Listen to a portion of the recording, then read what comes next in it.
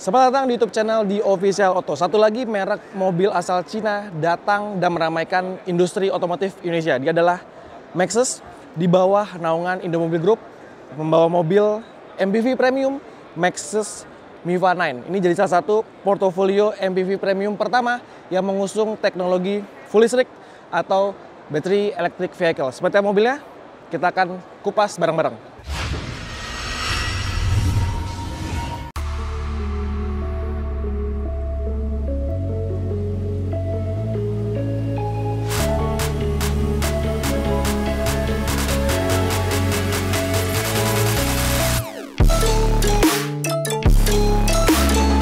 Kalau ngomongin kompetitor atau rival terdekatnya, mungkin di Indonesia dia bisa bersaing dengan Toyota Alphard dan juga mungkin juga dengan Lexus LM. Karena memang harga yang dipasang oleh Indomobil Group sebagai uh, ATPM dan distributornya, dia dijual di harga 1 miliar 425 juta dengan status road Jakarta. Anda sudah bisa mendapatkan sebuah MPV premium dengan teknologi listrik. Sekarang kita langsung bahas uh, penawaran desain baik dari bagian depan, samping dan juga belakang si Maxus Miva 9.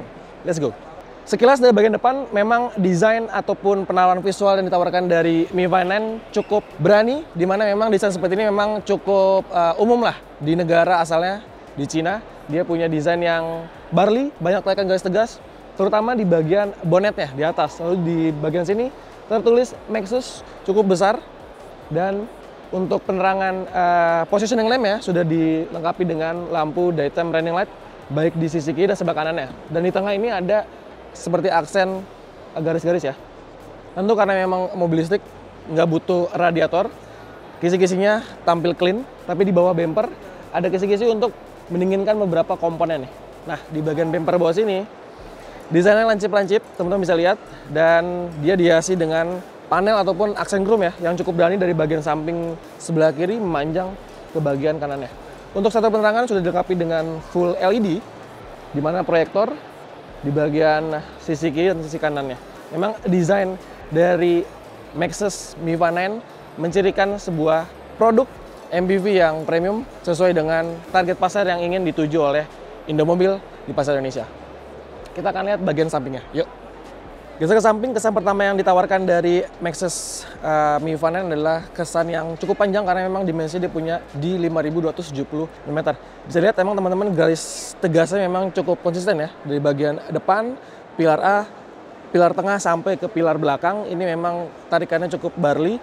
Di bawahnya ada side body molding dan ada siluet nih di bagian bawah sini termasuk di bagian fendernya. Untuk peleknya dia sudah uh, pakai ring 19 23 per 55 Rata depan belakang, desainnya memang mencirikan sebuah mobil EV ya, jadi memang futuristik lah di bagian depan dan belakangnya.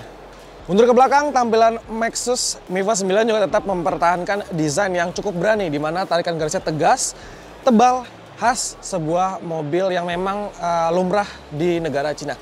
Di belakang dia punya stop lamp yang uh, cukup atraktif desainnya, di mana sudah pakai full LED.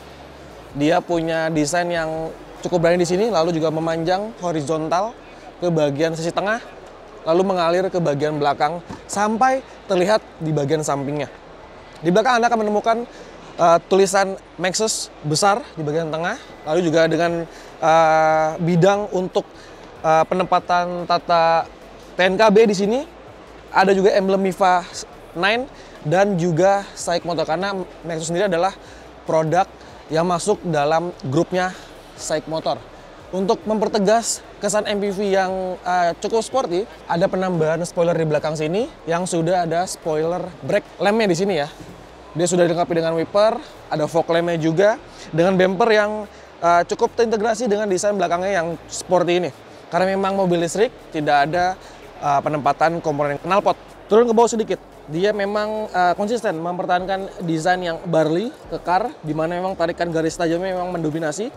Di sini ada reflector lamp yang dipadu dipermanis dengan list chrome memanjang horizontal sampai ke bagian belakangnya. Nah, mobil ini juga sudah dilengkapi dengan electric power back door.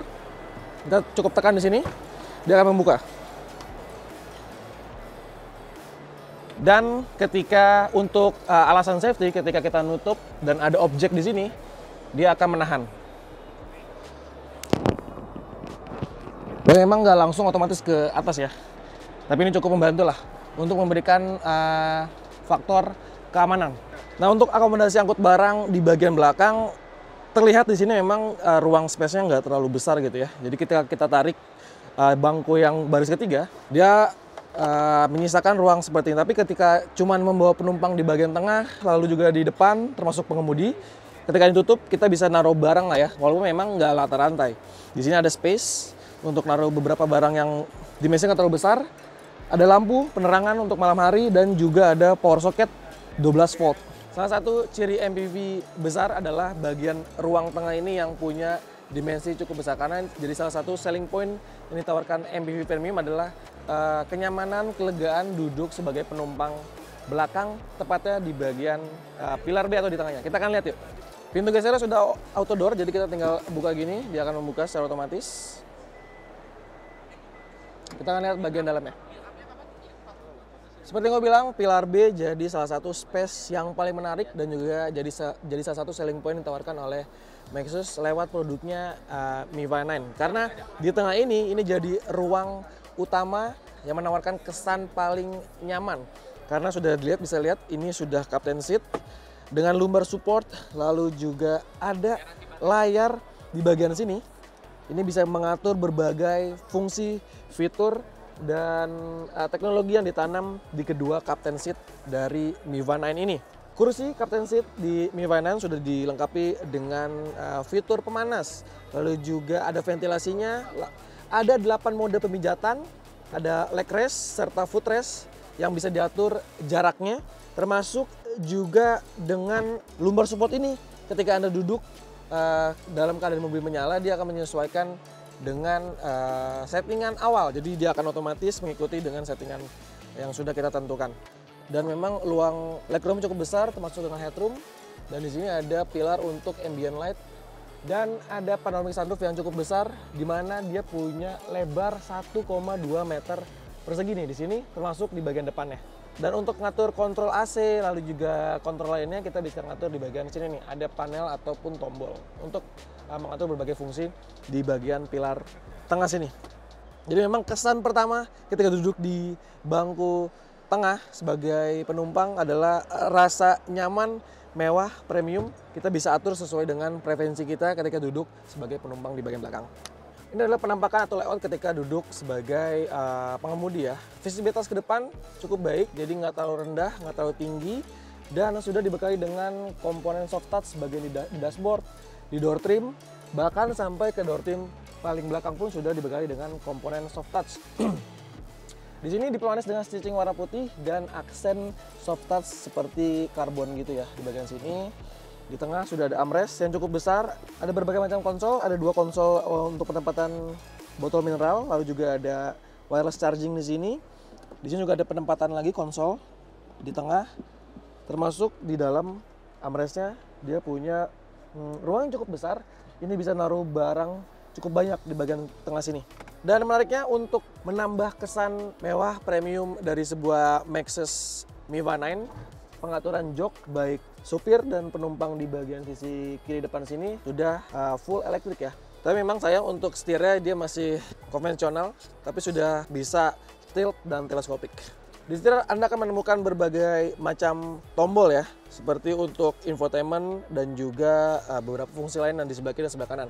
Untuk tuas transmisinya ada di sebelah kanan, jadi model-modelnya mirip seperti Mercedes-Benz kalau Anda ingat jadi kita untuk menaikkan ke atas dia akan mundur, tengah untuk netral, ke bawah untuk drive ataupun jalan sebentar di sebelah kiri ada pengaturan lampu, dia sudah auto lamp. Nah ini adalah uh, tampilan panel infotainment ya. Jadi menampilkan 3D gambar Mivanen di sini dengan berbagai fungsi, baik pengaturan AC, uh, infotainment lainnya.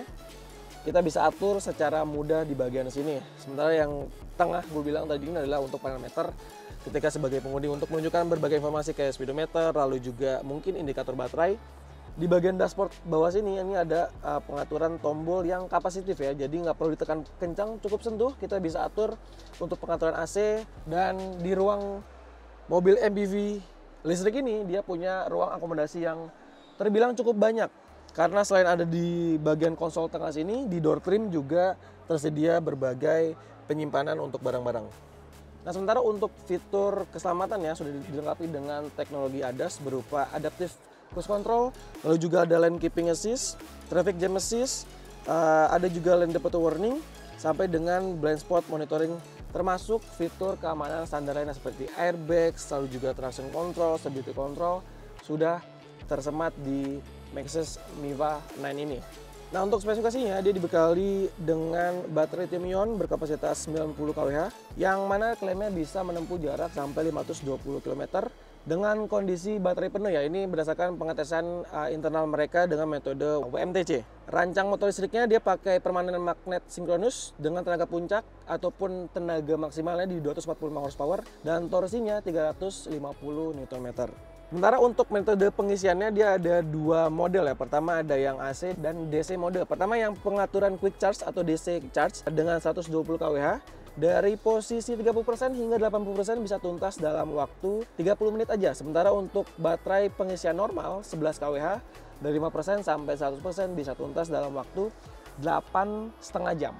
Nah untuk memberikan rasa kenyamanan ataupun keamanan baterai sudah bersandar IP67 lalu juga sudah dibekali dengan teknologi KERS ya atau Kinetic Energy Recovery untuk menyimpan daya terbuang sebagai regeneratif untuk menyimpan lagi ke uh, motor listrik ataupun baterainya sebagai daya tambahan uh, ke baterainya itu.